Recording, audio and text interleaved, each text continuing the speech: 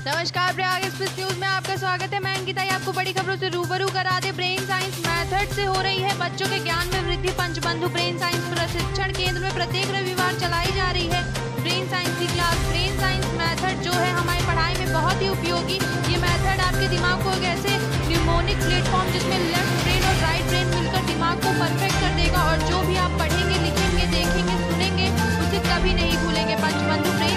प्रशिक्षण केंद्र की क्लास में टीचर दीपाली सिंह द्वारा हमारे दिमाग को पहला सिद्धांत बताया गया कि हमारे ब्रेन के मेमोरी प्रिंसिपल कौन से हमारे ब्रेन के मेमोरी प्रिंसिपल क्रिसमस है। क्रिसमस जो कि सी का मतलब होता है कॉन्सेंट्रेशन आर का मतलब रेडिकुलेशन थिंकिंग आई का मतलब इमेजिनेशन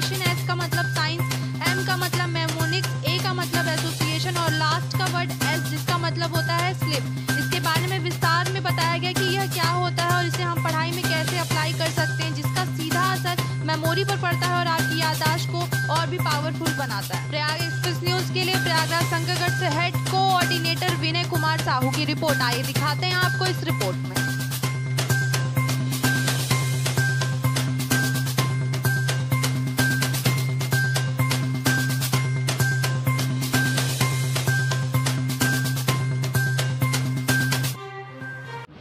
जैसा कि यहाँ ब्रेन साइंस जैसा कि यहाँ ब्रेन साइंस की क्लास चलाई जा रही है उसे लेकर आप क्या कहना चाहेंगे? यहाँ पे जैसे कि ब्रेन साइंस पढ़ाया जा रहा है। हमें ब्रेन साइंस इसलिए पढ़ाया जा रहा है ताकि हम अपना ब्रेन डेवलप कर सकें और अपने ब्रेन के बारे में जान सकें। यहाँ पे हमें यह पढ़ाया गया, जैसे आज हमें पढ़ना पड़ा how to learn the prime minister list it is a very easy trick इसमें दिया गया कुछ इमेज दी गई जिसके द्वारा हम प्राइम मिनिस्टर की लिस्ट याद कर सकते हैं। और यहाँ हमें कुछ किट्स दिए गए जिसके प्रयोग से हम पढ़ सकते हैं और कुछ आज अच्छा बा, जो पहले आप पहले पढ़ते थे और आपके पढ़ने में कुछ बदलाव आपके अंदर महसूस हुआ? हाँ यह बदलाव महसूस हुआ। जैसे हम दिन रात पढ़ते सुबह से लेकर दिन रात तक पढ़ते हैं जो याद करते हैं वो भूल जाते हैं एग्ज़ाम में।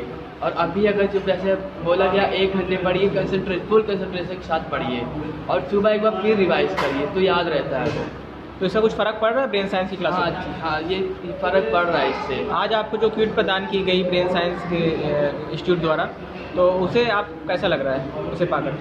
इसे पा के हमें अच्छा लगा। उसमें बहुत से एग्जाम्पल्स दिए हुए हैं पढ़ने के लिए और इसमें बहुत से तरीके जैसे हम कहीं कहीं जाते हैं घूमने उमने उसको अगर याद करना कहाँ गए थे हम लोग क्या देखे थे क्या नहीं सब इसके माध्यम से हम लोग पढ़ सकते हैं और याद कर सकते हैं।